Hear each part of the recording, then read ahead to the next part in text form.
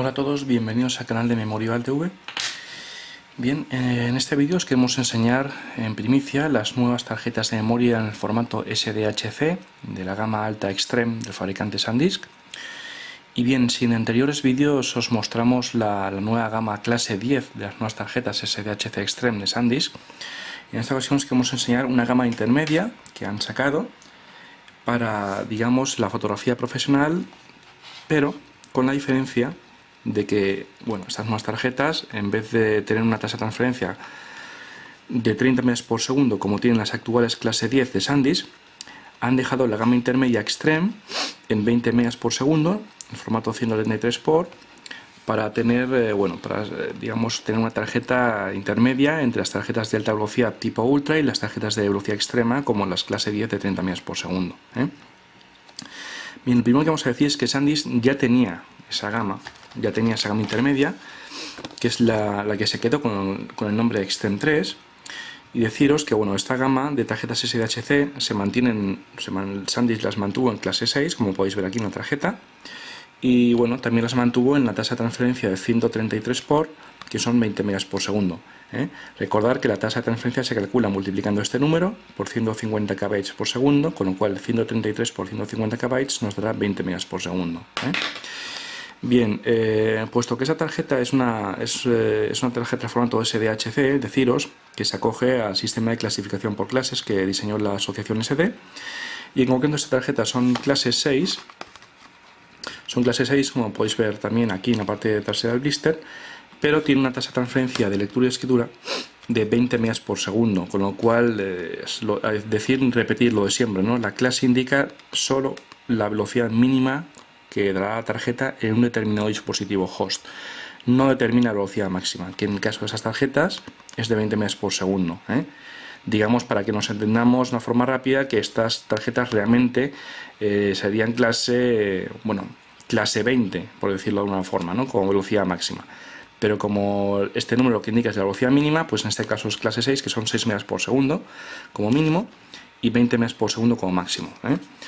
Eh, si comparamos esas tarjetas SDHC Extreme con tarjetas clase 6 de otros fabricantes, evidentemente esta tarjeta le da mi vuelta a las, demás. ¿Por qué? Pues que la mayoría de tarjetas clase 6 de otros fabricantes que de gama estándar efectivamente nos dan los 6 megas como mínimo y como máximo no llegan a 10, ¿no? mientras que esas tarjetas están dando 20 megas por segundo en lectura y escritura, independientemente de la clase.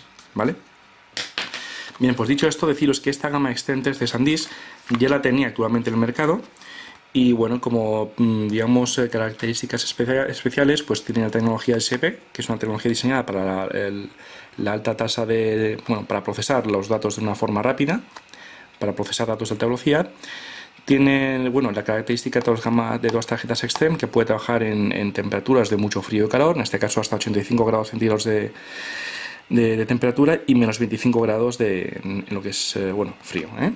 Y bueno, pues aquí también tiene el indicativo de la clase y eh, los 10 años de garantía que da SanDisk en sus tarjetas de gama Extreme. En algunas de ellas da hasta 30 años de garantía, pero estaríamos hablando del formato Compact Flash. Bien, pues deciros que este formato SanDisk lo mantiene pero lo que he hecho ha sido, bueno, pues cambiarle el blister, cambiarle el blister y llamarles pues tarjetas SD HDC Extreme HD Video. ¿eh?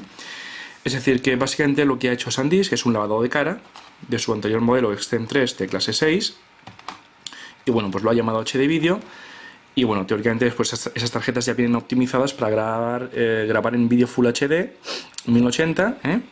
Y bueno, eh, pues también nos viene aquí con el logo de las cámaras DSLR.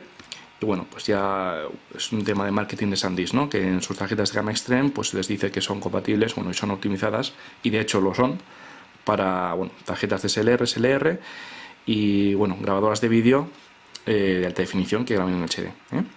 Bien, pues básicamente la única diferencia entre esta tarjeta y la otra es que independientemente que también tiene los 20 megas por segundo como tasa de transferencia 133 por lectura y escritura, también son clase 6, por supuesto, nos acercamos, son clase 6. Aquí incluso Sandis nos indica eh, el tiempo que pueden grabar de forma continua, 4 horas en Full HD. Y bueno, pues la única diferencia de esa tarjeta a la que, eh, a la que os hemos enseñado antes pues es, yo, nosotros por lo que vemos aquí, es que simplemente en el nuevo formato HD vídeo SanDisk incluye lo que es el bono para descargarse el programa Rescue Pro, que es un formato, es un programa para recuperar archivos dañados por accidente, tarjetas formateadas por error, etcétera. Y bueno, pues, básicamente es la única diferencia, que digamos en esta gama no lo incluye y en la gama HD Video sí que lo incluye. Aunque esto es relativo, porque sí nos hemos encontrado a veces que en este mismo packaging SanDisk incluye también dentro del bono para descargarse Rescue Pro a pesar de no ponerlo en el blister. Bien, pues básicamente esa es la, novedad. ¿eh? Presenta las nuevas tarjetas SDHC Extreme para HD Video y bueno, eh, digamos que esta tarjeta se quedará como digamos una gama intermedia de alta velocidad entre las tarjetas SD Ultra, que tiene una tasa de 15 megas por segundo, y la gama Extreme de clase 10 que tienen 30 megas por segundo, que bueno, esa tarjeta ya os hablamos en el vídeo anterior, de ese tipo de tarjetas. ¿eh? Esa tarjeta es, una, bueno, es, más económica, es más económica que las clase 10 de, de, de SanDisk que te 30 megas por segundo. Y bueno, para el que no quiera tanta potencia, tanta capacidad o tanta velocidad, pues bueno, entre 30 y 20 megas por segundo esa tarjeta también nos va a dar una velocidad realmente buena, fantástica para grabar nuestros vídeos en Full HD. Y bueno, por supuesto también disparo, de, en, ráfaga, en RAW, en modo crudo, etc. ¿eh? Bien, pues estas dos tarjetas son, eh, digamos, la anterior gama Extreme 3 de SanDisk de clase 6 y bueno, la nueva y mejorada, que es el Extreme HD Video, las dos de clase 6. Bien, pues eso es todo y bueno, gracias por ver este vídeo.